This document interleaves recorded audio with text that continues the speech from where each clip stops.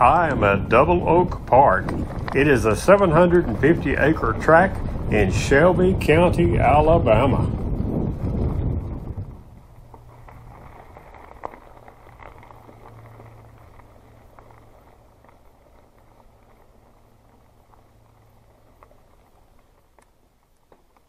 This is the three quarter mile loop trail named Easy Rider. It starts with a climb to the top and finishes with a fast and fun downhill. This is a short trail, but the downhill is a blast.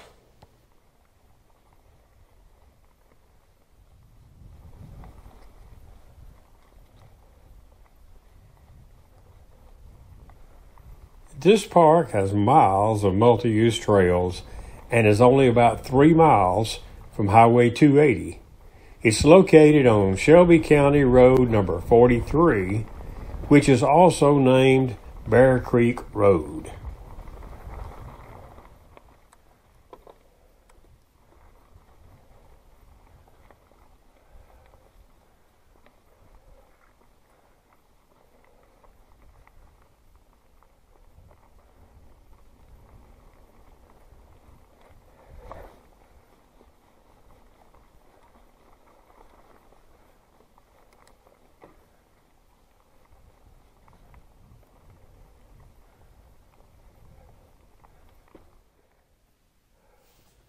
And now for the fun part of this trail.